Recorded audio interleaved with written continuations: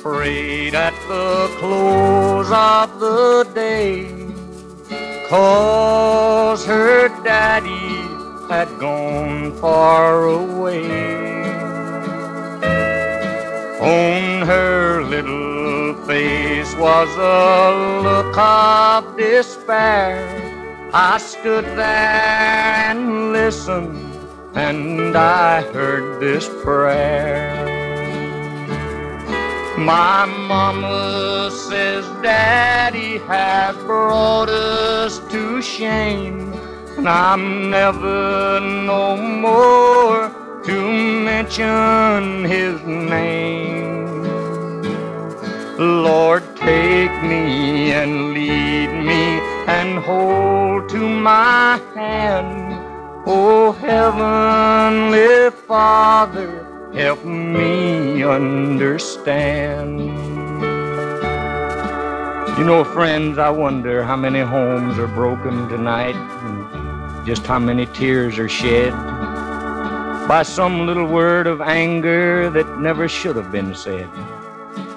I'd like to tell you a story of a family I once knew. We'll call them Mary and William and their little daughter Sue. Now, Mary was just a plain mother, and Bill, well, he was the usual dad. And they had their little family quarrels like everybody else, but neither one really got mad. Then one day something happened. It was nothing, of course, but one word led to another, and the last word led to a divorce. Now, here were two grown up people who failed to use common sense. They strengthen their own selfish pride at little Sue's expense. You know, she didn't ask to be brought to this world to drift from pillar to post. But a divorce never stops to consider the ones it hurts the most.